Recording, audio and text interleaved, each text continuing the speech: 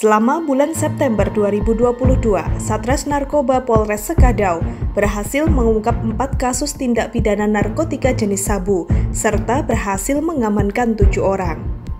Wakapolres Sekadau Kompol M. Aminuddin menyampaikan hal tersebut saat konferensi pers di Aula Bayangkara didampingi Kasatres Narkoba Ibtu Salahuddin dan Kasatres Krim Ibtu Rahmat Kartono Senin 26 September 2022.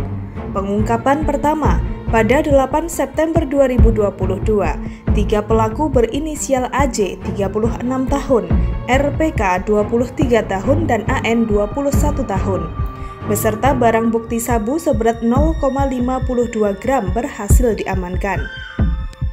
Lalu pada tanggal 10 September 2022, pelaku berinisial AS 30 tahun berhasil diamankan beserta barang bukti sabu seberat 11,32 gram.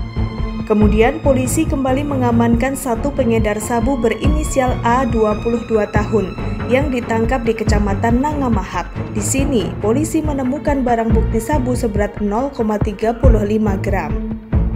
Pada 24 September 2022, Satres Narkoba kembali menangkap dua tersangka, masing-masing berinisial FS 28 tahun dan MS 40 tahun dari pengungkapan ini didapati barang bukti sabu seberat 0,27 gram, papar Wakapolres Sekadau.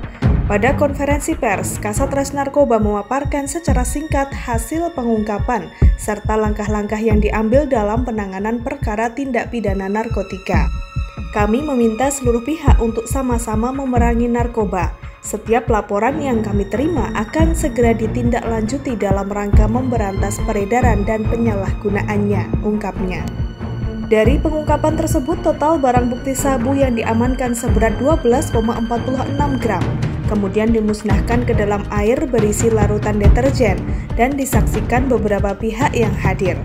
Press release dihadiri perwakilan dari Kejaksaan Negeri Sekadau, Dinas Kesehatan, Puskesmas Lalong Kabupaten Sekadau, Kalimantan Barat, dan sejumlah awak media. Hadi Sabrana, Kalimantan Barat, JKTV.